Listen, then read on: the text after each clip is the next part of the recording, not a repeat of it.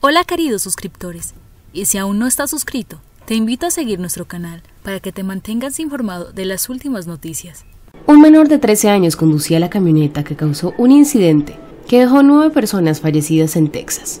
Un portavoz de la Junta Nacional de Seguridad en el Transporte dijo que un niño de 13 años conducía una camioneta que colisionó contra una van en el oeste de Texas. La llanta delantera izquierda del auto, que era una llanta de repuesto, salió volando antes del impacto aunque no está claro qué tan rápido viajaban los dos vehículos. Esta fue claramente una colisión a alta velocidad.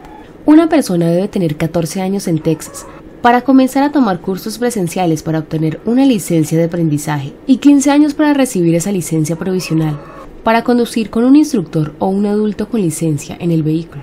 Victor Traylor, sargento del Departamento de Seguridad Pública, dijo que el menor de 13 años que iba al volante estaba infringiendo la ley el incidente ocurrió en las últimas horas. El conductor y un pasajero de la camioneta que conducía fallecieron tras el impacto. Esta noticia es realmente lamentable.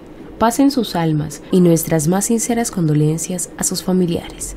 No olvidemos tener precaución al volante, porque no solo está en juego nuestras vidas, sino también la de los demás. Hemos llegado al final de este video. No olvides suscribirte, darle like y compartirlo en tus redes sociales. Esto me ayudaría mucho para seguir subiendo este tipo de contenido.